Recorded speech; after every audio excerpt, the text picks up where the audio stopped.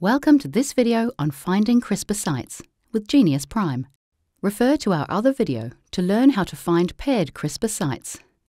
The CRISPR-Cas9 system requires guide RNA, gRNA for short, which comprises a 20 BP target sequence adjacent to a protospacer adjacent motif, or PAM site, to direct the Cas9 endonuclease to the cleavage site. Geneious Prime can search for gRNA CRISPR sites in a desired gene and search for off-target binding sites in your genome of interest. Each site is scored according to how many off-target sites it will potentially bind to and how similar the off-target sites are to the original sequence. To find gRNA CRISPR sites, select a sequence file, go to Annotate and Predict, and choose Find CRISPR Sites. It's possible to search for CRISPR sites in the whole sequence or a selected region by highlighting it before opening the tool. For this example, I will search anywhere in the sequence. In the PAM drop-down menu, specify the 3' end Cas9 option. Note that the tool can also find 5' CPF1 sites.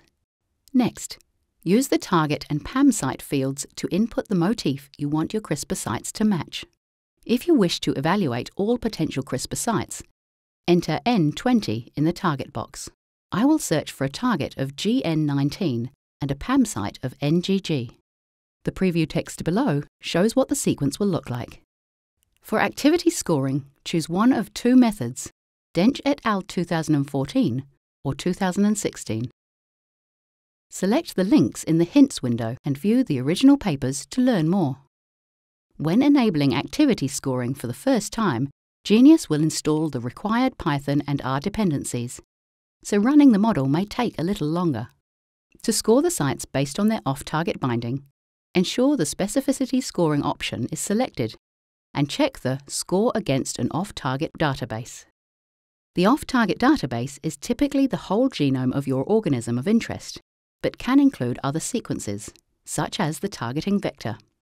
You can make an off-target database by creating a new empty folder in your Geneious database and importing the sequences you wish to use. To specify a database, select the folder icon and browse to the desired location. You can also specify the maximum mismatches allowed for off-targets and indels. Once you're happy with the settings, click OK to find the CRISPR sites. You should now see a new annotation track on your sequence called CRISPR sites. The annotations on this track are coloured according to their activity score. This score is a number between 0 and 1. The higher the value, the higher the expected activity. The annotation colour is a gradient from red to green, with lower values in red and higher values in green. To change the colouring to reflect the specificity score instead of the activity score, select the arrow next to the track name and choose Color by Heat Map.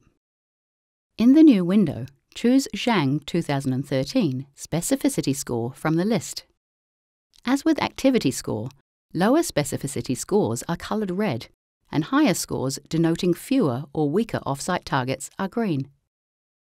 You can also edit the values of the numerical scale used for the heat map colouring in this window. Click OK when you're happy with the settings. Ensure you save the annotation track on the sequence. To see each site's actual activity and specificity scores, mouse over the annotation to display a pop-up window with information about that site. Switch to the Annotations tab to view the CRISPR site scores in a tabular format. Select Type and then CRISPR to show only the CRISPR annotations in the table. You can adjust the relevant columns to display such as the number of off-target sites, activity score, and specificity score. Select a column name to sort the table by the values in that column. And that's how you can find CRISPR sites in Geneious Prime. To learn more, visit geneious.com.